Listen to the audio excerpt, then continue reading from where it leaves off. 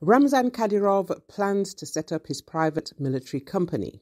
Head of the Chechen Republic Ramzan Kadyrov said he plans to set up a private military company after he quits state service.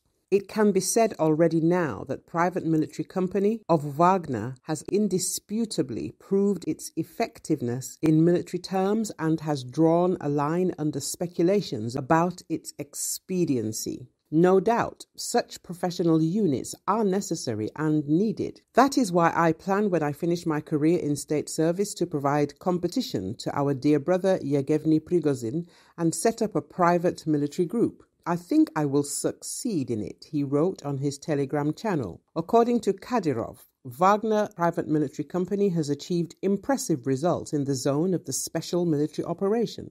Despite all the difficulties, Wagner attains its goals in any situation, he added. Kadyrov has many times talked of his intention to resign from his position as Chechen leader, though he has yet to follow through and few take his claims that he will resign seriously. Russian officials have established a tradition of creating their own mercenary companies.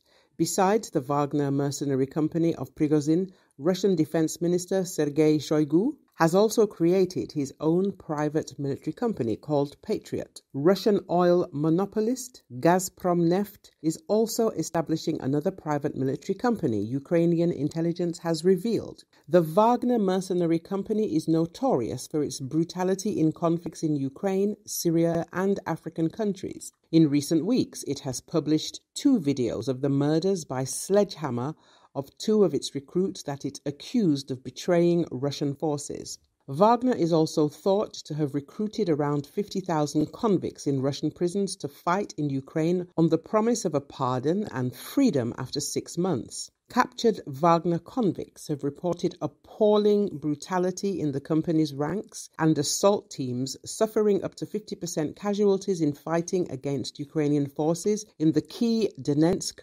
Oblast town of Bakhmut. Wagner has been attempting to capture Bakhmut for months but has failed to make significant progress so far.